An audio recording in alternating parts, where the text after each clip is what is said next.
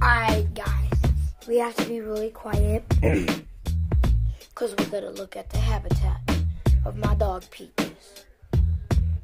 Because she, she is sleeping. And even though them out there being like, quiet. Because in the uh, next room, as her. Here is the, chat, the habitat of the dog. And here's your sleeping space. This is where I didn't make her sleeping space up yet, but I'll make another video of how I usually set it up.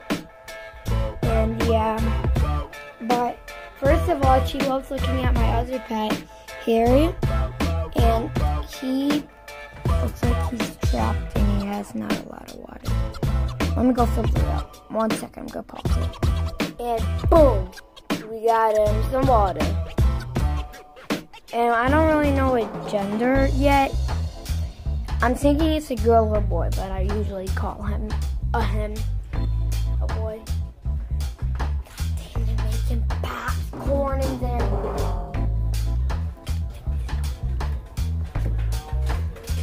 It's too loud. No.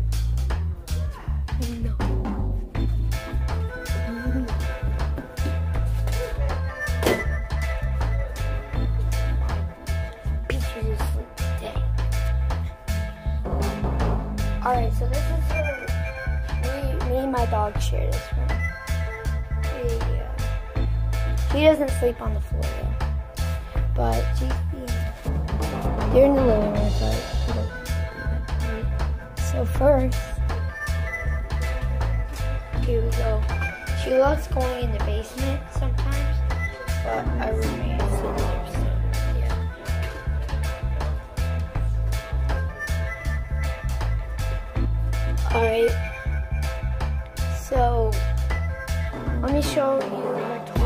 likes this basketball. She thinks that she's gonna pop it, but she's really not, so.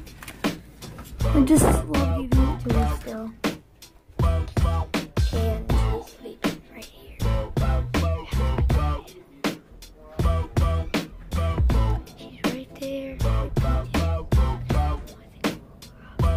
Hi, Peaches. Here's her eating spot. Her fan and her water.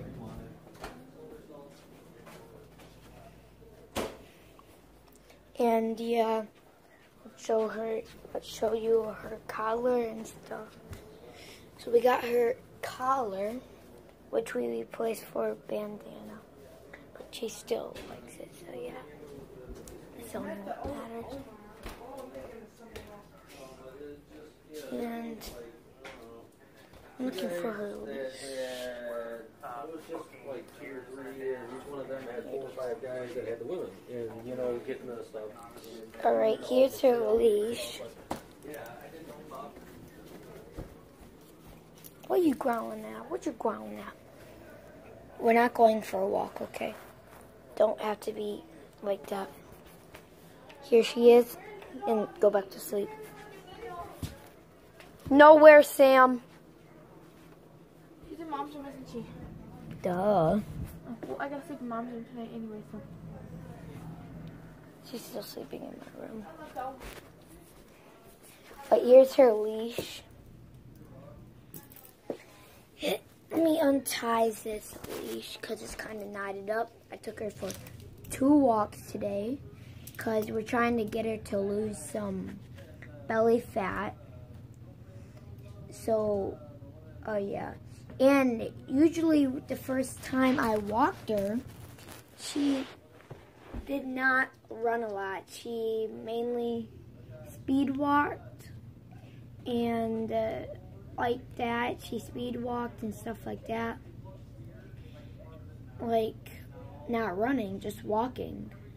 But when we got into the habit of taking her for walks and doing that stuff in less than a week, she started running today. And today, my sister had to get on conferences right away, and I just like, come on, come on, let's go, let's go. And she started running, and I was kind of inter uh, amazed And yeah. But she's only running like fast for like five seconds. But we're kind of training to get her to run fast at least 20 seconds. That's all we want. And we just go around the block. Uh, you can look up Parlor and Cor- uh, Porter and Michigan, East Lansing, Parlor and Porter. Those streets, we go around the block of them. And there's like so many dogs. I'm talking like 10 or 20. And she just, like, they just annoy her when we're walking. And some of them don't have leashes on. And if you check out one of my other videos with my me and my friend Kasai, uh, she got distracted by friend. I said, "Ma'am, can you please get a collar on that dog?" And she wasn't outside, so um, the dog was like peaches. The dog didn't even have a leash on, not even a collar, not that I know of. And their gait, I would think it would be a solid gait. It's like up right here. That's the gate. And their dogs are almost big. They could easily jump for that gate.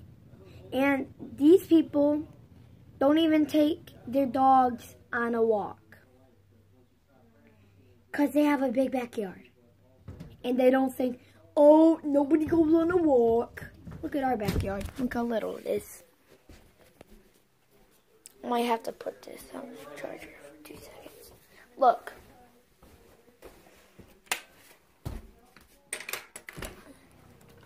It's a little backyard compared to what yard somebody else has in there. Let me get the charger. Hold on. And she's just getting distracted.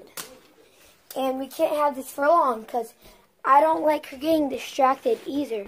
And that leads to me having to pull her by her neck with the collar. And I just hate doing that.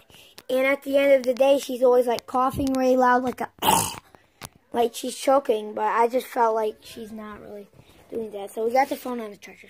Good. But, and what else did I not like about it? This is about, I'm guessing like, like, uh, like, I'm guessing five feet or three or four feet. You, uh, tell me in the comments, cause, but this is a, I'm just gonna guess it's five feet. But this is a five feet collar. And it's not like one of those high-tech collars that have those adjusting and uh, locking positions. I have to pull her back. I, I don't have a button that, oh, oh, she sees another dog. Let me just press this button. It, does, it doesn't lock her in place. And yeah, that's about the walking situation. But we're to keep training until she gets controlled. It's not like it's it's not very like bad. It's not bad. It's just but she has the ability to walk over dogs, but she can walk over them. She won't bark back. She won't growl back. She'll only howl like and she'll lock herself in motion because she wants to see that dog and she can't see that dog. And she's um, a pit bull mix. So her instincts is to see another dogs and protect me. But I don't really care about that. She's not a family dog. She's a protecting dog. But I don't. I think she's like both because she's uh since she's a mix. I guess she's a mix of pit bull and not a wiener dog. Not a wiener dog. I forgot the name of it. Eagle? Is it like a seagull? Not a seagull. Like an eagle? I. Somebody correct me in the comments. but if you correct me, you probably know what I'm saying. Because it's you know it's like those big long dogs, and maybe she breeded with uh, pit bull and she turned into that. But she's not big. She's not very that. But she's a really good dog, and I just love having her. She's a really good dog. She eats. I let her eat. I let her sleep. She just loves sleeping. And that's about that. Her sleeping, she can sleep through anything. Trust me, a loud TV and loud people. And my family's not allowed to be, including me. Harry, you scared me. God. But yeah, that's about her. I'll go get you a close up of her and how she gets on top of beds. So all I have to do this is Peaches, come on. Peaches. She must be coming. I'll pause it when she uh, when I see her come. Or I think she's coming. Hi, Peaches. Come on. Want bone? Want the bone? Want the bone? Oh, I guess not. Well, here she is. Sit. Sit. Come on, sit. Good girl. And she has a little bit of fleas on her ear, which we're going to get checked. But I had to rub some uh, flea lotion on it, which I use for shampoo for her. It proven to get away fleas and stop the bleeding. So, and see, she's a good girl, and she's her body's in the shape of a Twinkie, and her paw, it's like a normal paw.